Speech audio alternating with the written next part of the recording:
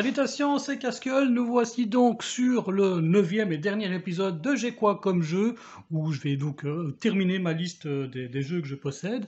Euh, il y aura de la redite hein, dans, cette, dans cet épisode, puisqu'il y a des jeux dont j'ai déjà parlé, donc je vais peut-être m'attarder dessus un petit peu moins. Mais on va pas perdre trop de temps, on commence tout de suite donc avec Terminator Genesis, l'éveil de la résistance, c'est un jeu que j'aime vraiment beaucoup, c'est un de mes jeux préférés. Euh, avec un plateau modulaire, un tas de tuiles, tout ça. Euh, on le voit peut-être un petit peu à l'arrière. Ouais, voilà, donc on, forme notre plateau de jeu en, mettant des piles côte à côte, elles s'emboîtent pas. On a tout un tas de personnages euh, qui, nous permettent bah, d'incarner qui on veut. Il n'y en a pas tellement en fait dans la boîte de base. enfin, on a quand même Kyle Reese le, T800, le gardien, on a le, le hacker, comment il, s'appelle le hacker là euh, Je sais plus, mais enfin bon, c'était euh, c'était lui Genesis hein, dans le film. Et on a euh, John Connor, j'ai aussi l'extension qui permet d'incarner euh, cinq nouveaux personnages. Alors je ne connais pas leur nom, euh, je me souviens plus. Ils ont tous leur spécialité aussi, hein, genre un démolisseur, enfin je veux dire un expert en explosifs, tout ça. On a euh, de nouveaux boss, tout ça. C'est une nouvelle campagne. Hein. Donc dans celui-ci, il y a une campagne qui comporte, je crois, une dizaine de missions. Celui-ci, il y a une nouvelle campagne qui comporte là aussi une dizaine de missions, plus un générateur de missions aléatoires, donc ça c'est vraiment chouette. Et surtout, euh, ça rajoute un cinquième joueur, parce que le jeu de base nous permet de jouer de 1 à 4, et euh, cette extension nous permet de jouer à 5, donc ça c'est très cool. Je vais essayer de vous montrer quand même un petit peu ce qu'on a euh, dans, la boîte. Moi j'ai dû tout déplacer, parce qu'une fois tout dépunché, tout slivé, tout ça, ben, le, le matos il rentre plus.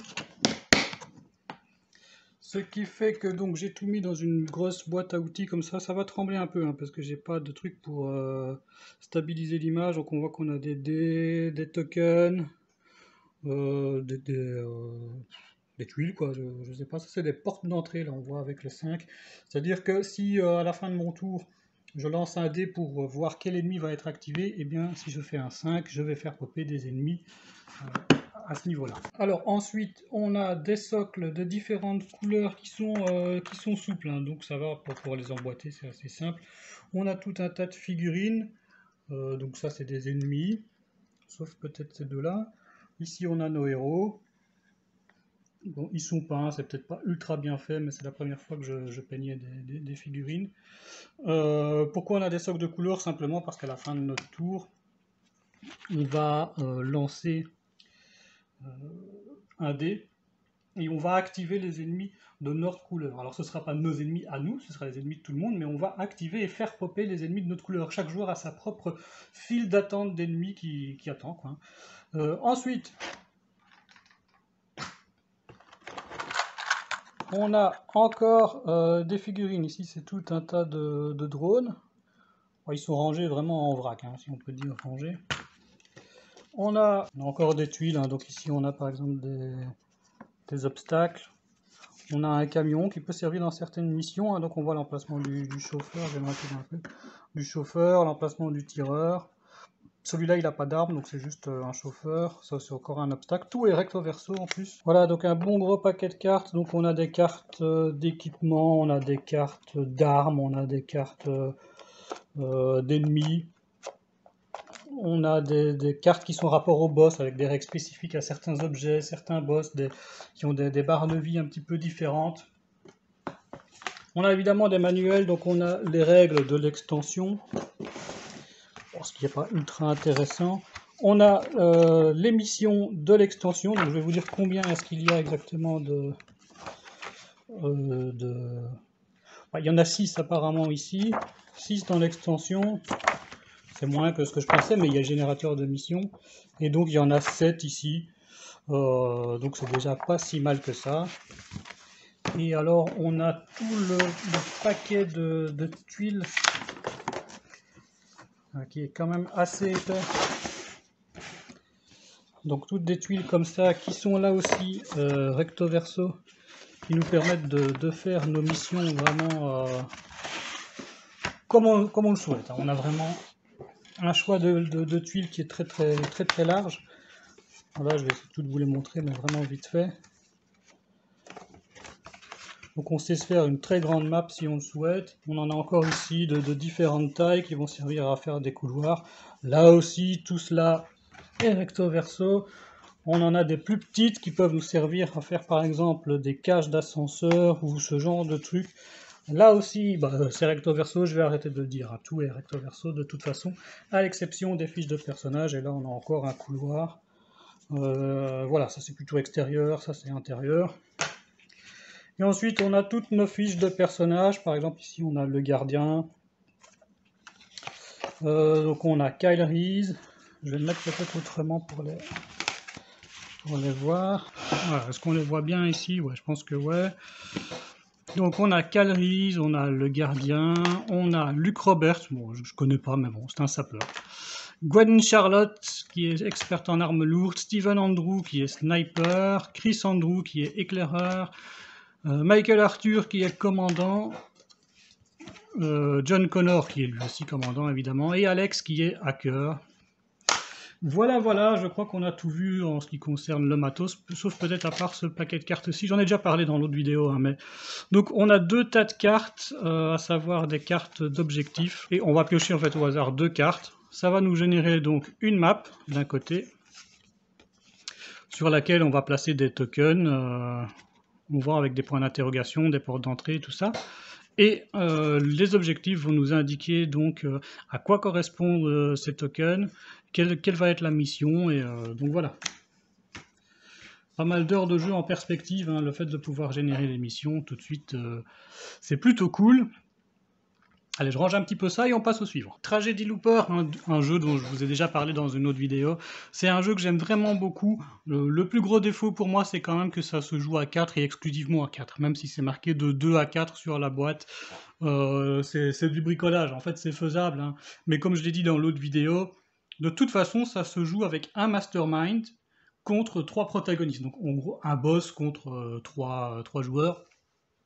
Et euh, donc si on joue à deux, ben, il y en a un de toute façon qui incarnera le boss et l'autre qui incarnera les trois autres joueurs. Il va donc devoir jouer avec trois decks de cartes et jouer une carte de chaque deck.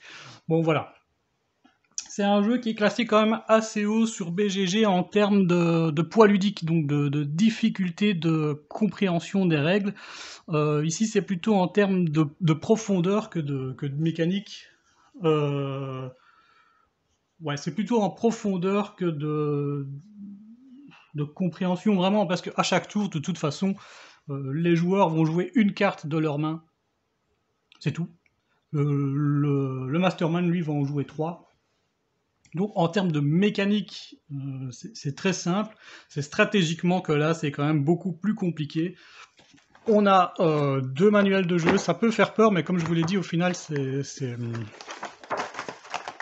très simple en termes de mécanique. Hein. Il ne faut pas avoir peur de la taille des manuels, parce qu'on a quand même deux manuels d'une quarantaine de pages chacun. Donc 44 ici, 40 ici. Bon, après, ils ont, ils ont plein de d'exemples. C'est celui-ci? C'est celui du mastermind. Euh, bon, c'est peut-être pas un bon exemple justement ici parce qu'en fait à la fin c'est pas des règles, c'est les différents scénarios donc je vais pas trop vous montrer ça.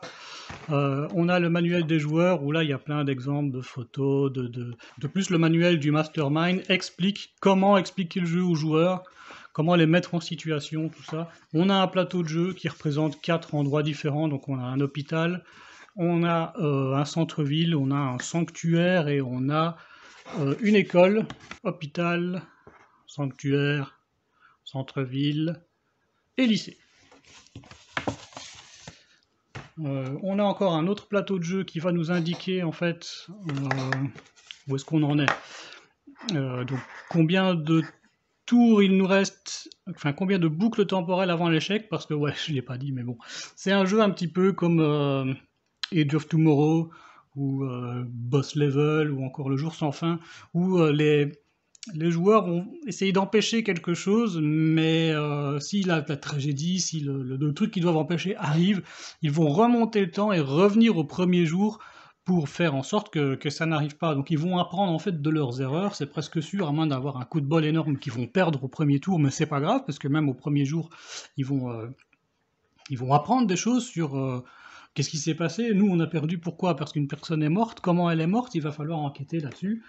Donc euh, voilà, c'est un jeu d'enquête, de déduction. On a tout un tas de personnages qui vont nous permettre déjà de faire les scénarios qu'il y a dans, la boîte de base, mais en plus on peut faire nos, propres scénarios assez facilement. Donc comme on voit ici, on a par exemple un patient, on a une infirmière, journaliste, euh, lycéen, riche héritière.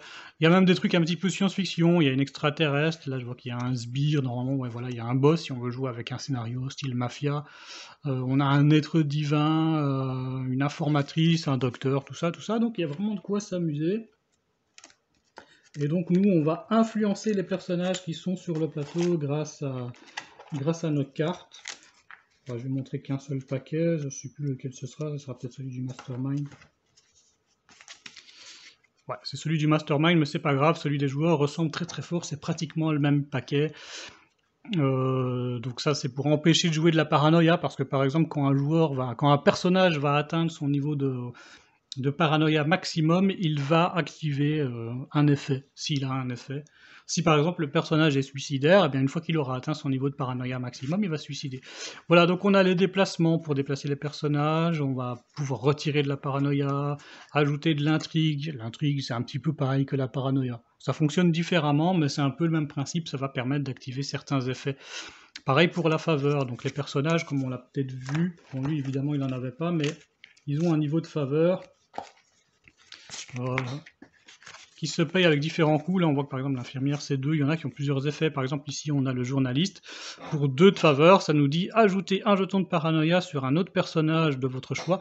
Alors, ajouter de la paranoïa pour les joueurs, c'est surtout pour faire des tests, pour voir qu'est-ce qui se passe. Est-ce que si je lui mets si je lui montre son niveau de paranoïa à fond, euh, est-ce qu'il va se suicider? Est-ce que c'est lui qui se suicide ou est-ce qu'il se fait assassiner par quelqu'un?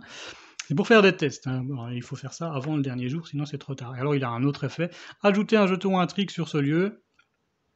Euh, ou sur un personnage de votre choix. Voilà, c'est la même chose. C'est assez similaire à l'autre.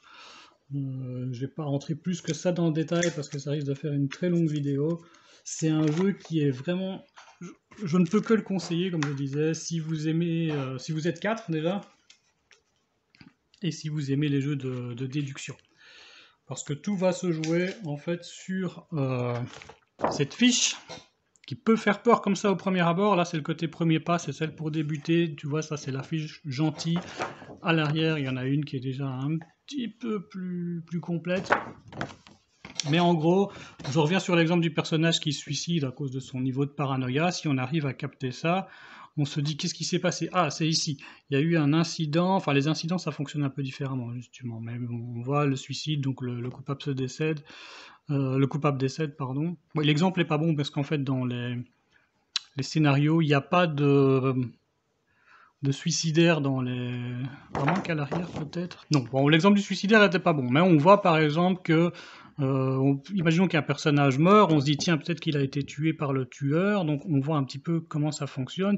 Si le personnage clé a deux d'intrigue ou plus et se trouve dans le même lieu que le tueur, le personnage décède. Si on se dit que c'est ça qui s'est passé, on se dit c'est qu'il y a forcément un tueur dans notre, euh, dans notre scénario. Donc on vient voir ici un petit peu au-dessus on se dit mais il n'y a qu'un seul scénario où il y a un tueur et c'est le meurtre prémédité. Ça veut dire que dans notre scénario, on a aussi un personnage clé, ça on l'avait remarqué, puisque de toute façon, quand le personnage clé meurt, on, a perdu et c'est sûrement ce qui déclenche la, fin de la boucle temporelle. Et on a aussi un cerveau. Et qu'est-ce qu'il sait faire le cerveau? Du coup, on sait voir les différents rôles on voit que le cerveau, il est capable euh, d'ajouter de l'intrigue et on se dit mais c'est justement ce qui s'est passé un petit peu avant. Et voilà, donc le but des joueurs va être de, découvrir dans quel scénario est-ce qu'ils se trouvent, quelles sont les, différentes euh, machinations qui sont en jeu et faire en sorte que ça n'arrive pas.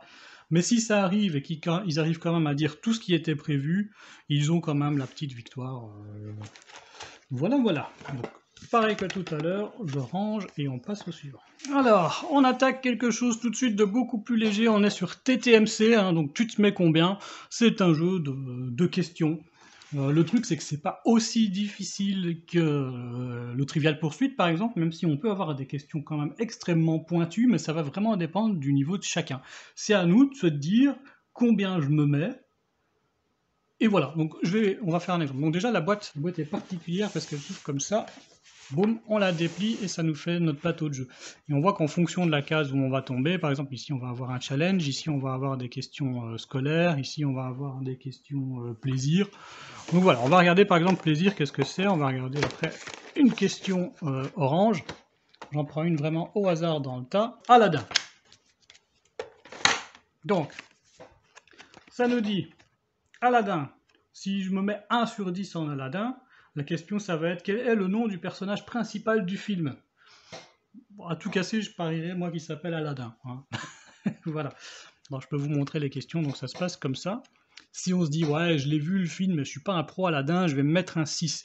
Dans quelle ville imaginaire se déroule le film? Bon, bah, je pense que c'est à Grabat. Euh, on va regarder plus loin, on va regarder un 8. De quel personnage de Disney le génie se Non, en quel personnage de Disney le génie se transforme-t-il durant quelques secondes? À quel moment Je me rappelle plus. Franchement, je ne sais pas. Je vous montre. Ok, c'est mon Pinocchio. Alors, donne-moi le titre de 5 chansons du film en VF. Alors, je sais pas. Je sais qu'il y a euh, Ce rêve bleu, il y a... franchement, ce genre de truc, ça devient quand même compliqué. Et la dixième, donc la question la plus difficile, dans la version française, combien Prince Ali possède-t-il de chameaux et de chamelles? Je sais pas, une douzaine? 103. ok. Euh, sûrement que c'est dans une des chansons, je me rappelle pas. Euh. Donc c'est un petit jeu sympathique. Euh, facile à sortir du coup, hein, puisqu'on n'a pas besoin de, chercher un plateau de jeu, de l'installer et tout. On a, on a même pas besoin des règles. Les règles en fait c'est juste une feuille recto verso et encore il y a une partie où il y a peut-être le matériel de la boîte. Donc c'est vraiment très très simple et on le range comme ça, c'est fait. voilà. Donc euh, jeu très sympa, plutôt familial. Même avec les enfants, on peut jouer, hein, parce que les questions faciles sont quand même vraiment faciles. Et c'est pas toujours intéressant de répondre à une grosse question, hein, parce que comme on, on revient là-dessus, si par exemple on est à l'aise avec les questions de, plaisir, par exemple, on est là, et on se dit, euh, si je fais 1, ça va être un C superbe, ça m'intéresse pas. 2, euh, ça va être mature, ça risque d'être chaud. Ah, je peux faire un 3 pour pouvoir tomber sur une question improbable. Parce que si je réponds à une question de niveau 10, j'avance de 10 cases. Ouais, je l'ai pas dit. Si je réponds à une question de niveau 3, j'avance de 3 cases. Et donc, je vais me retrouver sur une question plus... Déjà, ma question sera relativement facile, mais à la question d'après, je vais me retrouver à nouveau sur une question facile. Donc, il y a quand même une stratégie à ce niveau-là. Enfin, on passe au suivant un jeu que, a priori, je l'aurais vu comme ça en magasin, je l'aurais peut-être pas acheté. C'est Unicorn Fever de chez Yellow, et pourtant, je peux, je peux vous dire que c'est pas spécialement pour les enfants. D'ailleurs, quand on regarde sur la boîte, on le voit pas, c'est euh, de 2 à 6 joueurs, c'est du 10 ans et plus pour des parties de 45 minutes. Euh, donc, euh, ce serait pour des enfants, je pense qu'ils auraient mis 8 ans et plus, par exemple. Hein. Par exemple, j'ai Wingspan ici qui sera le prochain jeu de la liste, bah, c'est du 10 ans et plus aussi, Wingspan. Alors, c'est un jeu, comme je disais, qui n'est pas spécialement pour les enfants, parce qu'en réalité, derrière Unicorn Fever se cache un jeu de paris euh, hippique, avec un système de cotes, de décotes. On a un petit manuel de jeu, c'est pas ultra compliqué, je sais pas pourquoi ils ont choisi ce format-là pour le manuel, mais bon, ça change rien, pourquoi pas. On a un plateau de jeu qui lui par contre est assez grand. je vois qu'il y a un petit peu de bordel dans ma boîte.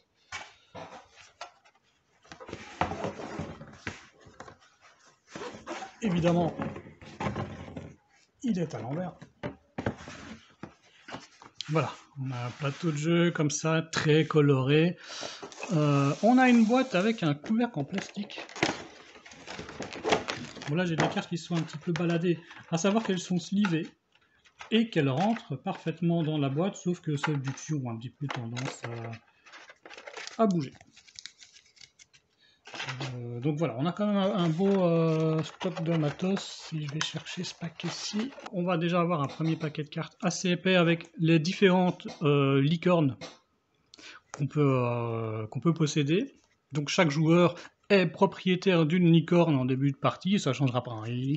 on ne peut pas en acheter d'autres, on est propriétaire d'une licorne, point. Ensuite, on va faire participer ces licornes à des courses et on va parier sur les licornes. On n'est pas obligé de parier sur notre licorne, d'ailleurs, ça n'aurait aucun intérêt de parier sur notre licorne, sauf si vraiment on est sûr que qu'elle va rapporter quelque chose. Parce que de toute façon, si notre licorne gagne, on a un petit bonus, même si on n'a pas parié dessus. On a des cartes qui vont nous permettre de faire des prêts euh, donc soit d'un sac d'argent, soit de, deux sacs, hein, c'est recto verso. On a des cartes euh, de magie pour influencer la course, soit en bien, soit en mal. Par exemple, on va jouer une carte de magie blanche sur une licorne qu'on aimerait qu'elle avance un petit peu plus vite, et on va jouer une magie noire sur une licorne qu'on aimerait ralentir. Sauf qu'on va les jouer face cachée, hein, ça va être de la programmation, et ensuite on va les révéler. Et là justement, bah, ça tombe bien, on a les deux cartes euh, C. Donc on voit qu'il y a des lettres hein, dans les coins. Si on a une magie blanche et une magie noire sur la même licorne avec la même lettre, elles s'annulent. D'ailleurs, elles vont avoir des effets assez euh, contradictoires. Celle-ci, en gros, elle rajoute 1 au sprint et celle-ci, elle dit pas de sprint. Donc, de toute façon, les cartes euh, s'annulent. Donc voilà, on va avoir tout un tas de magie pour euh, influencer la course. Il y en a quand même un bon paquet. Donc là, il y a de quoi renouveler pas mal les parties. Bon, bah là, il n'y a que des magies. Il y a encore un autre paquet de cartes qui est tout aussi épais que le premier. Bon, évidemment, c'est stylisé, donc ça prend plus de place. Où là, on va avoir les différents euh, euh, personnages qu'on va pouvoir engager, je ne sais plus comment ils appellent ça, pour, euh, pour nous donner des missions. Par exemple, celle-ci, ça nous dit Vos paris gagnants sont réussis, même si la licorne sur laquelle vous avez misé arrive deuxième. Alors, le pari gagnant, on a plusieurs types de paris. On a le pari gagnant on a le pari, euh, comment ils appellent ça Je sais plus. En gros, c'est le pari podium. Pari gagnant, il faut que notre licorne arrive première pour qu'on remporte le pari. Si elle arrive deuxième, c'est perdu. On a le pari euh, podium, hein, comme je disais, où là, il faut qu'elle arrive dans, les trois premiers. Et euh, c'est tout. On a un deuxième pari podium, du coup, pour les, les, joueurs qui vont parier sur la même licorne, mais qui vont arriver plus tard sur le pari. Euh, donc c'est le même pari, c'est juste qu'ils vont gagner un petit peu moins d'argent. Ici, par exemple, ça nous dit si la licorne violette arrive première, deuxième ou troisième, gagner euh, un trèfle. Donc, en fait, en trèfle, c'est les, points de victoire. Donc, on va avoir comme ça tout un tas de personnages qu'on va pouvoir engager pour nous, donner des, missions, pour nous rapporter des points de victoire. Et ensuite, on a les cartes qui, euh, vont servir pour la course, c'est-à-dire que ce paquet-là est face cachée. Euh, dans le coin en haut à gauche. Et euh, pour, faire la course, on va simplement retourner les cartes et ça va nous dire quelle licorne avance de combien de cases. Et on va euh, retourner, retourner, retourner jusqu'à la fin de la course. Il faut savoir que les chiffres du dessus sont généralement un petit peu plus gros que ceux d'en dessous, majoritairement. On voit par exemple qu'il y a 3, il y a 2-3 dans la partie du dessus alors qu'en dessous il n'y a que des 2. Je vais regarder la suivante il y a plus de 3 en haut. C'est-à-dire que la licorne qui est favorite, bah, en toute logique, elle va avancer plus vite. Par contre, elle va rapporter moins. Si on parie sur euh, la licorne qui est, euh, qui est la moins bien cotée, qui est dernière, on ne le voit pas bien, mais c'est marqué ici, euh, là, on va gagner 7 fois notre mise, alors que si on parie sur la favorite, on va juste remporter 2 fois notre mise qui est déjà pas si mal, hein, mais si on arrive à faire un 7 fois sa mise, c'est quand même vraiment pas mal. Mais là, il va falloir jouer de la magie pour faire en sorte que, eh ben, que notre licorne euh, l'emporte. Je vais vous montrer euh, les, licornes. Alors moi, je les ai peintes. Il existe un kit où on peut acheter des licornes pré-peintes. Euh, elles sont plus grosses, parce que celles-ci sont assez petites. Elles sont plus grosses, par contre, c'est très cher. C'était plus cher que le jeu. Donc je me suis dit, bon, bah, moi je vais, je me tenter à la peinture. J'ai mis un vernis. Euh, bon, le, socle est un peu dégueulasse, mais j'ai mis un vernis brillant. Il faudra peut-être que je gratte un petit peu pour le socle et tout ça. Euh, mais bon, moi je trouve que franchement ça passe. Alors, tant que les licornes ne sont pas soclées, parce qu'elles ont un socle de couleur ici, elles rentraient là-dedans. Une fois que le socle est mis, elles rentrent plus ou très difficilement, mais on peut, on peut parfaitement les ranger là, ça pose pas de problème. Moi je les trouve plutôt euh, marrantes avec leur gros cul comme ça. Voilà, donc je suis pas un pro de la peinture, mais honnêtement, euh, je trouve que, que ça passe. Quoi. On a celle qui a un petit côté super-héros. On en a une, violette qui, a l'air de, s'amuser. Une verte. Euh, bah voilà, je sais pas trop quoi dire dessus. Et enfin, je crois que c'est la dernière, on en a donc une bleue euh, avec un casque de viking. Voilà, donc je suis pas, comme je dis, je suis pas un pro de la peinture. On a des dés, des dés qui sont tout, euh, tout pailletés, tout shiny comme on dit, qui vont, en fait, on va lancer les dés pour euh, une fois qu'une licorne a avancé, suite à la révélation de la carte, on va ensuite lancer les dés pour voir qui va sprinter. Ça va permettre à une licorne d'avancer euh, d'une case de plus en gros, une ou deux licornes. On a donc tout un tas de jetons de, victoire, on a des 1 point, des 3 points. On a de la monnaie, alors on a du 1, du 5, du 50, on a vraiment tout, un tas de monnaie. Des tokens pour indiquer en fait quelle euh, licorne est favorite. Et alors on a les différents euh, les différentes tuiles qu'on va prendre pour indiquer quel pari on a pris. Donc ça c'est un pari comme je disais euh, podium, je sais toujours plus le nom du truc mais bon voilà. Et ça c'est un pari gagnant. Donc gagnant il faut vraiment avoir la coupe. On va pouvoir aussi acheter donc, des potions qui vont nous permettre d'activer des magies. Euh, à savoir que le premier qui va en prendre peut-être ce sera gratuit. Ensuite, ça va coûter plus cher. Et euh, bon, voilà. On a vraiment pas mal de matériel. Le jeu est plutôt sympa, mais c'est vraiment un jeu de, course hippique. D'ailleurs, c'est un petit peu un reskin. C'est plus qu'un reskin. Hein. Le jeu a été un petit peu amélioré, modifié, mais d'un jeu qui s'appelait Horse Fever et qui était purement un jeu de, paris hippique. Ici, il y a quand même la, dimension magique et euh, influence de la course en plus. Voilà. Donc c'est un jeu très sympa. Il faut pas se fier à la couve en se disant c'est un jeu pour les enfants. Euh, même si moi, du coup, j'en ai profité, j'ai essayé de faire jouer les enfants, en me disant c'est l'occasion de les faire jouer à un jeu qui est peut-être un petit peu plus gamer, mais dans un thème, parce qu'en général, les enfants, ils veulent pas trop jouer euh, au jeu que moi j'aimerais jouer. Et là, du coup, bah, ils, ont, ils ont bien accroché au thème, donc ils sont venus jouer. Et euh, c'est pas ultra compliqué, donc globalement, ça leur a quand même bien plu.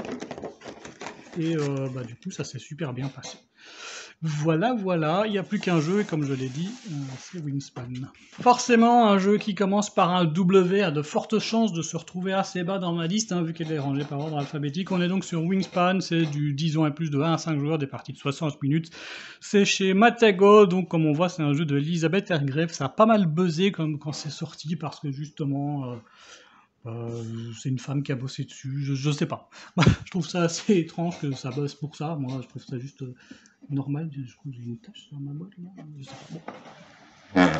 Donc en gros, on a le manuel qui est très bien expliqué, qui est dans une matière euh, un peu plastifiée, donc comme dans, comme dans. Euh, voilà, c'est la même matière, c'est très particulier. On a euh, bah, l'appendice, hein, donc c'est un, guide technique un petit peu plus approfondi, comme ils font chez FFG. Euh, si on a des questions à se poser, c'est là-dedans. Et on a le manuel de l'automa, parce qu'on peut jouer tout seul avec un automa, donc ça, ça peut être sympa, ceux qui aiment ça. Euh, on a évidemment un carnet pour noter les, points. On a euh, le plateau de scoring qui est recto verso, il y en a deux différents parce qu'il y en a un qui est plus compétitif que l'autre, ça va vraiment dépendre de notre goût. On a une tour AD, bon là elle est en partie démontée, hein, mais on a une magnifique tour AD qui ressemble donc à à un nichoir. Voilà, on a donc la tour AD qui se présente comme ça, donc très sympa sur le bord de la table. Euh, des cubes de couleurs, des dés, de la nourriture, des cartes. Alors je pense que je les ai pas plastifiées, tiens. Bon, ça c'est un petit peu mélangé aussi, mais ça va. Donc en fait, globalement, ça va être des cartes euh, d'oiseaux, comme celle-ci. Voilà, donc on a le nom de l'oiseau pour ceux que ça intéresse. C'est pas important pour le jeu, hein, mais pour notre culture générale. On a donc euh, le nom de l'oiseau, son nom euh, latin, ainsi que son envergure. Et on a son effet. Voilà, comment ça s'active. Et on a aussi sa, provenance, mais pour le coup, ils viennent presque tous du, nord des États-Unis. Pour les oiseaux d'Europe, il faut une extension que j'ai pas. Et en gros, euh, chaque joueur va avoir son propre plateau de jeu qui est magnifique aussi. Comme on voit à l'arrière, ils ont fait un, côté euh, pochette en cuir, alors que vraiment c'est pas nécessaire hein, puisque c'est le verso. Donc on va avoir un plateau comme celui-ci sur lequel on va venir poser nos, nos oiseaux. Et là où c'est particulier, c'est que si par exemple j'ai mis plusieurs oiseaux sur la même euh, ligne, si je pose un oiseau ici, que j'active son effet, ensuite je vais activer celui-ci, ensuite celui-là, ensuite celui-là, et donc on va pouvoir faire du combo comme ça.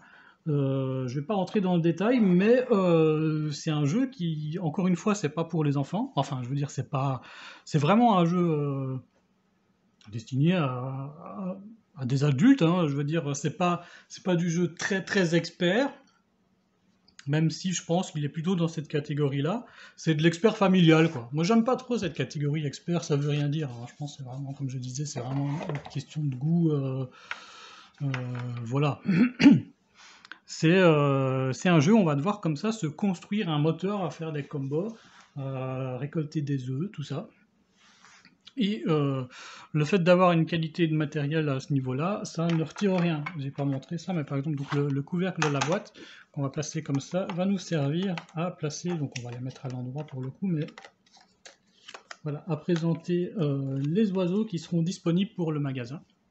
Puisqu'il y a un magasin de cartes, alors c'est pas du deck building, hein, mais c'est juste que les oiseaux qu'on va placer sur notre plateau, eh bien on va, on va les acheter.